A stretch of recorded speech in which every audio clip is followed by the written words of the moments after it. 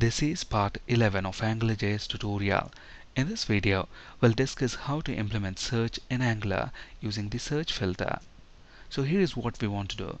Notice just about this employees table, we have this search employees text box. As we type in the search text box, all the columns in this table must be searched and only the matching rows should be displayed. Let's see how easy it is to implement the search functionality. Let's flip to Visual Studio.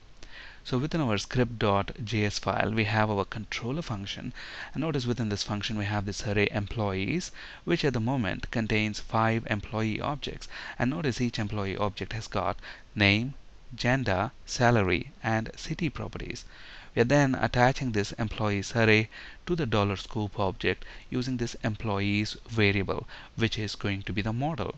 And then within our view, which is HTML page 1.html, we're using this table element to display the employees.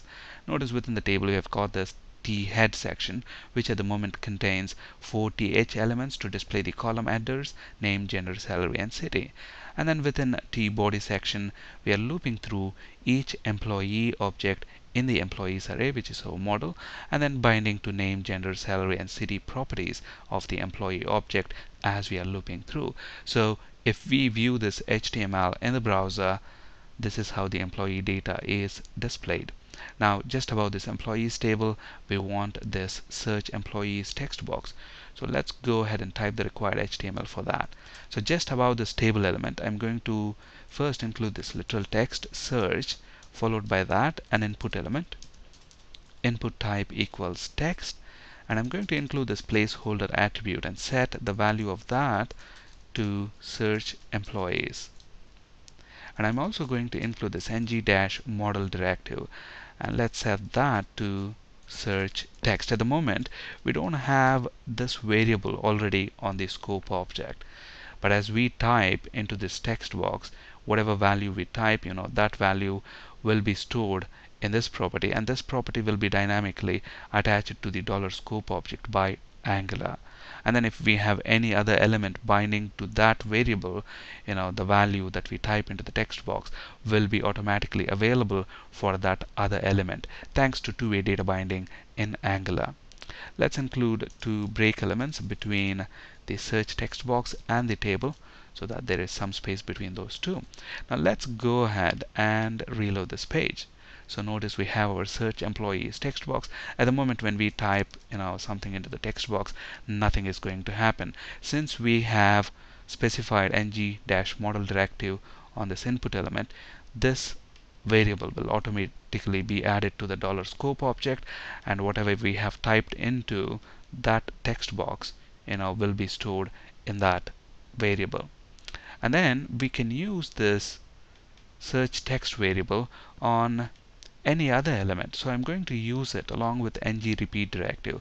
So I want to use angular filter here.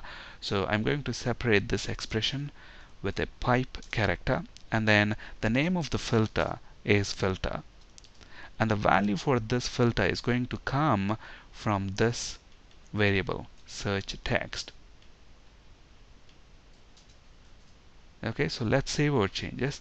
And look at this when we reload this page and as we type look at this when I type for example F so letter F is present in gender column of the employees table so these are the two matching rows and we see them and if I type for example letter L letter L is present you know for all the five employees records in the gender column so that's why all the five records are displayed but if I type O so LO is present only in the city column. So only these three London employees are displayed.